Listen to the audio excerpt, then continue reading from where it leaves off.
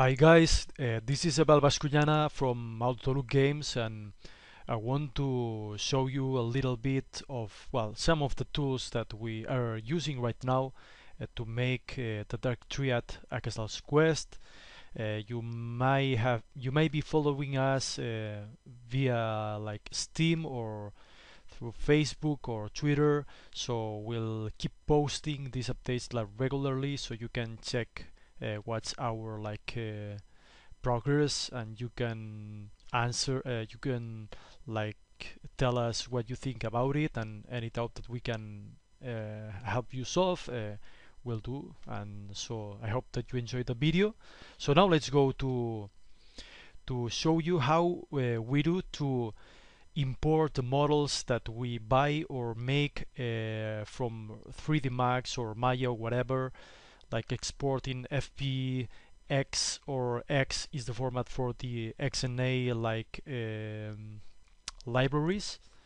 Uh, these are like Microsoft libraries that are also used to to develop for Xbox 360. That's why we'll port our game also to the the 360 after we finish the version for for the PC.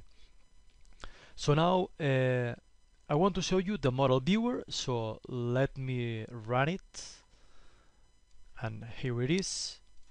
Let me clear the results. Uh, you'll see that uh, the first thing that we must do is like searching for the models so for that we'll click this button go to desktop and then we'll get this one called villagers. That is exactly where it is. Ah, it disappeared or what? Uh, wait a second. Okay, it's models. This one. Models. And then the villagers. Then we click OK and you'll see uh, a big list of the different like items. And as you see when we click on them uh, we cannot see anything. The first thing that we must do is like selecting one of them and then right clicking and then build models. So then the model will be like red and then we can see the visual representation of the model on this uh, right side of the screen. It will take while but it should be ready in like uh, four or five seconds I hope. It seems it takes a little bit more but it shouldn't be that much I would say. Okay let me close this one just in case. Okay here we go. So here you can see like this pigeon pretty cool model more than enough. Maybe you you can think that the model is not like very detailed or it has uh, it doesn't have like many polygons, but for our game it's I think it's more than enough because uh, you must take into account that it's like an isometric perspective and it will be a kind of view like like from the from the top down almost and maybe you will be able to zoom in and out uh, you won't be able to zoom in so close of the model to see like all these imperfections or because yeah it's not uh, smooth but I think it it, it will work pretty well. Also we will change the textures like Rafater our graphic artist will like modify the textures so it will look much better. So now let's go to the interesting stuff uh, here you see like many different models that are flying. Uh, this won't be like this in the game but at the moment is how it is here but let's see. We'll click on handle archetypes for this model and then if we open the asset then here you can find for we can find for example like the material profiles. And this is pretty interest interesting because one of the things that we can do is for example changing like the textures for the let's see for example uh, the bear the bear the body. Let's see for example with this one now what we are doing when we click these buttons is like basically loading these textures so then we can later apply to the model okay so for example now what we should do is going going for example to one part of the body. We'll take for example the body. What we can do here is like for example you see now this villager doesn't have any body. Uh, we could even animate him but we'll do it later uh, let's go to change the material for example for the body. It's here.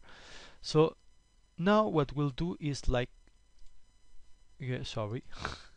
If we don't put the if we don't see the body it will be difficult to see the changes. So now we can check for example this one. As you see it has changed now. Yeah this is pretty ugly. I mean it's like it's it looks like a bit corrupted. This one is okay. No so we have many more. So with only one model we can make like many variations. Not only uh, because of we can change the textures but also because as you saw we can hide some parts of the 3D model. For example we can like remove the the bird. So now you have this guy without a bird also even we can remove the hair so it would be like me like completely bald-headed. And for example I don't know well head of course. This would be like Sleepy Hollow so uh, now I'll show you like a cool thing and this is the animations for the model. The the first thing that we must do like is clicking on add clips okay? And then we select the animations and here you can see like like the different animations for the model. So this is the tip post. It would be the one is idle like the walk the walk one so you can see here. And also there are walk back like Moonwalker Michael Jackson like rest in peace. Is pretty walk right walk left. And also we have run uh, what else? We have jump for example. Uh, roll left. Uh, I don't know if the villager will if we will make him like roll left or right. It would be cool for example when when if the villager or uh, uh, when he's like drinking in the inn and he's pretty drunk he would be like these weird things also without the the the, the tools and the bag and the and the boot on uh, the boot locks and all that stuff. So it has even attack. Well the, the cool thing what we, we should do for example in this case like is like uh, removing all this stuff so it will be easier for us to for example now is much better. Ah maybe the axis and also the cudgel so well this would be much better this with a hammer. But anyways as you can see he can even like uh, spell cast. I don't know maybe it's like somebody that has been converted by the, the dark triad followers so who knows? The good thing is that we have like uh, plenty of animations to to choose from like he's working this would be cool like for a for a smith. Then like sickle work so we would change the tool obviously. But as you can see like he's carrying some bag or logs or whatever. So this is pretty cool.